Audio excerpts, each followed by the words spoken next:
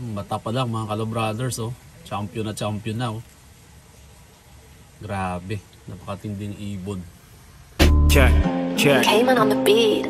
Kala brothers magingay tayo ay sabay-sabay Itaasin yung kamay at sa akin ibigay Ipapakita kalapating gusto nyo Huwag na huwag kang kukurap malulupit ang mga to Kala brothers magingay tayo ay sabay-sabay Itaasin yung kamay at sa akin ibigay Ipapakita sa inyo ang kalapating gusto nyo Huwag na huwag kang kukurap malulupit ang mga to Yun mga kalobrothers, welcome back to my channel. Masayang buhay naman sa atin lahat mga kalobrothers. So bagong taon, bagong tabas tayo. Wow! Kasi nga, mainit na dito sa Auckland, New Zealand. Pero normal pa rin yung panahon mga kalobrothers. Gaya na no, malakas na naman yung hangin. Tapos mamayang hapon yan. O di kaya bukas, ulan na naman yan mga kalobrothers. Kaya mas maganda na pag maganda yung panahon, mag-training tayo ng mga warriors natin kasi meron na tayong parating na race this coming March, mga Kala Brothers.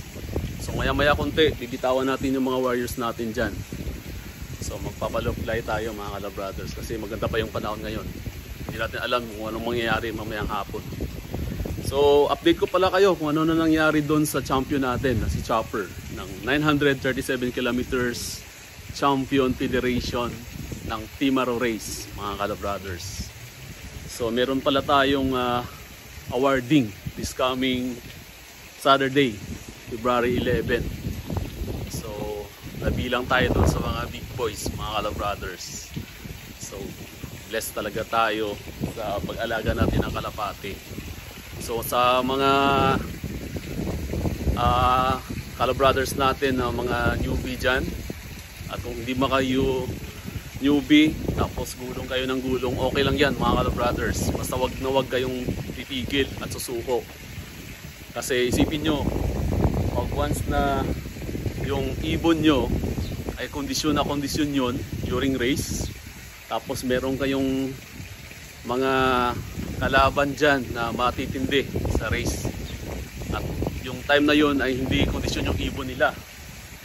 At yung sayo naman ay kondisyon mga Kala Brothers kaya walang imposible na ikaw ay mag number one sa race mga Kala Brothers kaya wag na wag tayong susuko mga Kala Brothers alright? So mamaya papakita ko sa inyo si Chopper ano na nangyari doon sa champion natin.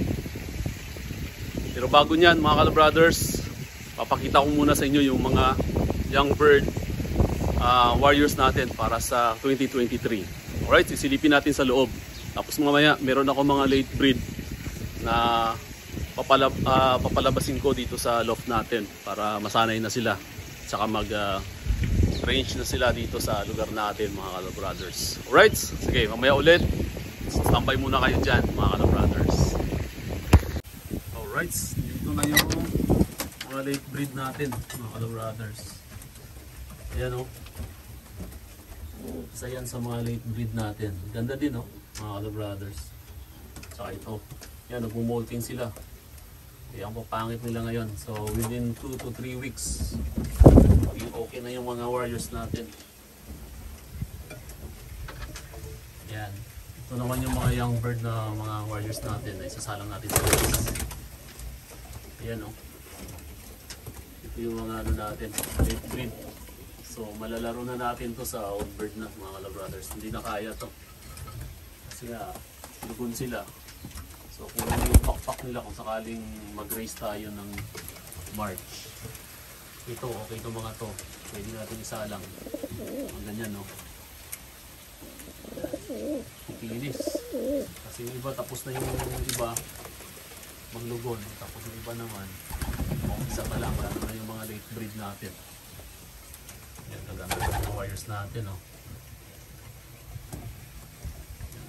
yung black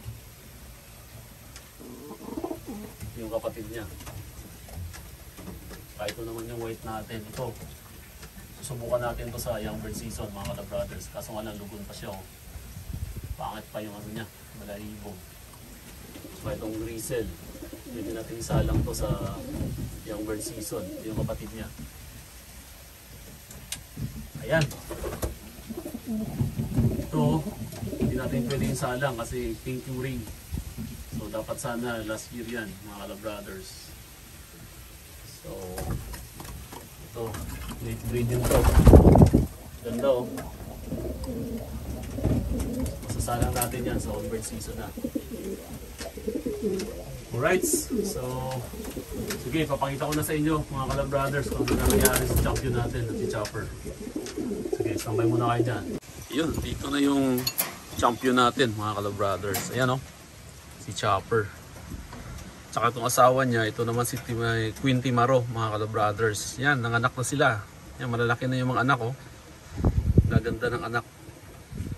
So, batang bata pa ng itlog na. Hindi, joke lang mga Kalab Brothers. Yan yung anak nila. Ito. Ito yung nagmana kay Chopper mga Kalab Brothers. Itong kulay na to. Yan na yun yung kulay ni Chopper, yung maliit pa siya. Yung binigay sa atin. Yan. Ang ganda ng anak nila mga Kalab Brothers. So sana magtamasa din tong mga anak na to sa darating na race sa susunod. Kasi hindi na natin masalang to sa young bird season ngayon. So kung pagpalain tayo na hindi tayo makatransfer ng bahay, so pwede natin malaro to sa all bird season na mga Kalab Brothers. Kagaya kay Chopper. Si Chopper naman, lalaro natin siya ng all bird season. Pero yung ring niya is young bird mga Kalab Brothers, color pink. So ito din yung mangyayari sa anak niya. Sana magtamasa tong dalawa na to mga Kalab Brothers. Yan oh, ang ganda ng kulay ni Chopper. Oh. Hmm, Bata pa lang mga Kalab Brothers oh. Champion na champion na oh. Grabe, napakatinding ibon.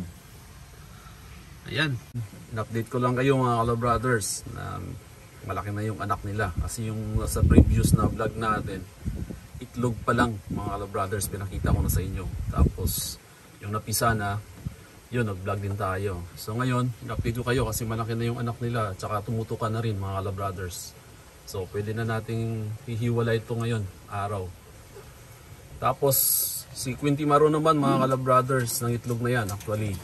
Kaso tinanggal ko kasi yung time na bumaha dito sa Auckland, nabasa ng ulan yung itlog nila mga Kalab Brothers. Kaya kinuha ko na kaagad kasi alam ko na hindi na mabubuo yung itlog na yon. So di bale, mga itlog ulit yan. So kukunan ko lang sila ng second clutch mga Kalab Brothers. After that, ibabalik ko na si Chopper doon sa nanay niya. So sana mahiram natin yung nanay. Alright. So mamaya pa lang pipicturean natin si Chopper kasi nga kinukuha ng ERPF yung picture ni Chopper kasi meron tayong awarding sa February 11. So that is Saturday next week mga Kalo Brothers. Yan o. Pwede na pang picture sana yan o. Yan. So isi-send natin yung picture mamaya kay Kuya Miles. Kasi meron tayong awarding sa Saturday. Right? So hanggang dito na lang siguro yung vlog natin mga Kala Brothers. In-update ko lang kayo sa mga anak ng mga champion natin. Yan. Yan si Chopper. Maganda ng anak ko. Kikinis ng balahibo. Healthy na healthy yung nanay at yung tatay. Yan, mga weeks na lang yan mga Kala Brothers. Mga itlog na yan ulit. Alright. Sige.